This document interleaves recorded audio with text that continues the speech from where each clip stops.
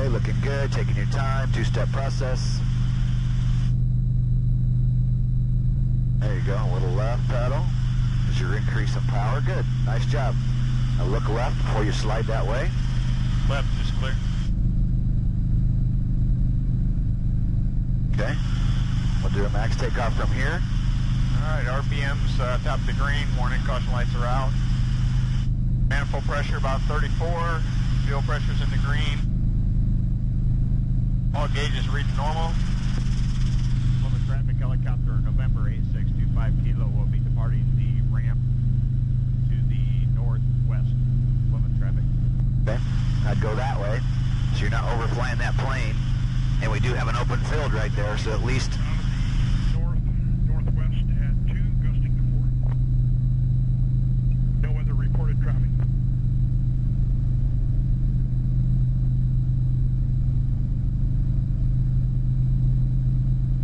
I'd keep it, I'd go a little more, see how you could get into trouble? You're pulling to the max, your RPM's high, which robs you of manifold pressure, and you start moving towards the wires. I just stopped you, because I want you to come back down. You know, notice, notice early, go, you know what, that's not that great, I'm not sure if I can make it. Make that decision before it's too late to go, you know what, I was pulling max power, and your RPM was high, which was taking you clear up to the red line, and we were moving towards those wires. I thought I could get ETL, but what if I didn't, right? Exactly. And that's my point, is don't wait until it's too late. And you can get into that position, so what I'm trying to, what I'm teaching you is, notice early, damn, I'm pulling a lot of power, I'm all the way to the red line, I'm approaching my obstacle, what can we really do? Back well, up. we could back up. You got, of course, we got planes on both sides of us, but, Tail's, tail's clear on the left. okay, so if you want to turn that way, and let's go back a little ways and try again. Tail's clear left. There's nothing wrong with abandoning it, you know, and saying, you know what, it's not that important to get out of here. I, I don't need to. There's no reason.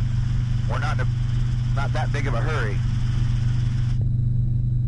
And now starting back here, if you do that same takeoff, okay, no big deal. You got time to build that ETL, but we were, and you could have skimmed right across that probably, but why? You know, I don't want to teach you to fly that way. I want you to be Right. conservative. Tail's clear on the left. Warning caution lights are out. RPM's in green. All gauges are reading normal. and just take, you know, come coming up slow. Nothing wrong with it. Just take your time. Power's at the limit. You can't pull anymore. There we go. And it's still not really, Not real good. it's not, see why I stopped you? Yeah. Not real good, but it barely made it.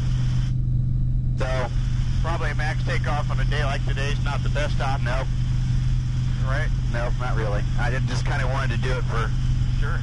I just wanted to do it for practice, but no, I mean, there's no reason for it. We're from airport. We got lots of room. We didn't have to get out of there. It's a good lesson, though. It shows the limitations and why. And it's because it's warming up.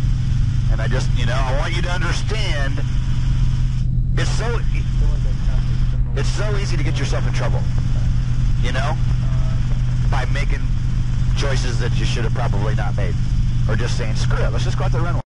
Right. Awesome student, and he did it. You know what I mean? Just that scenario, and he got scared, and what did he do? Just kept power and pulled it. Like I said, when I told John how far he went over, he said he's lucky he didn't seize it. Wow. And he was going over trees. So, you know, just don't put yourself in that position. Right. Just don't ever do it. Just, if you're thinking, you know what, I'm not sure about this, I don't go. Sit it back down. Recognize it early and go, no, this ain't worth it. We're not doing it. You can sit down, burn off fuel, shut it off, wait till it gets cooler outside. You can drain fuel off. You can make your passenger get out. You have other options, other things you can do. But just take your time, let's go around and let's do a nice straight in auto.